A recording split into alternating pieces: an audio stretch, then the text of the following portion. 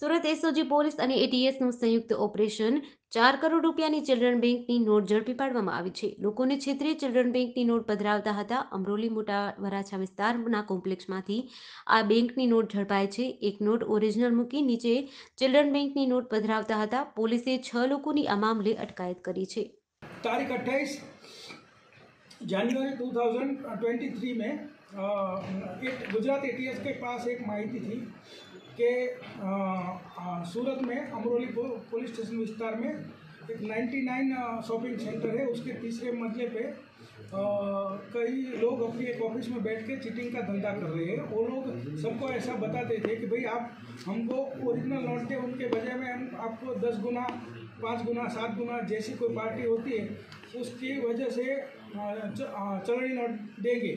फिर वो नमूने के तौर पे असल चलनी नोट देते थे। और फिर जब पार्टी आती थी तो उसके पास पास सपोज़ दस लाख लेते थे और पच्चीस लाख की नकली नोट देते थे। ऐसा हमने सुना था और हमारे पास ए के पास इनपुट था। तो ए ने और एसओजी सूरत ने मिलके इन घटना को अंजाम दिया और उन लोगों को गिरफ़्तार कर दिया।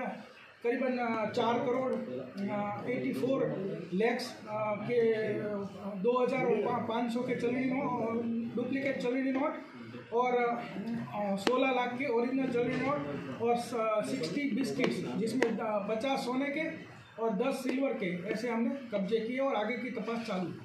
जेडीसी न्यूज़ साथी सुनील गाजावाला, सूरत।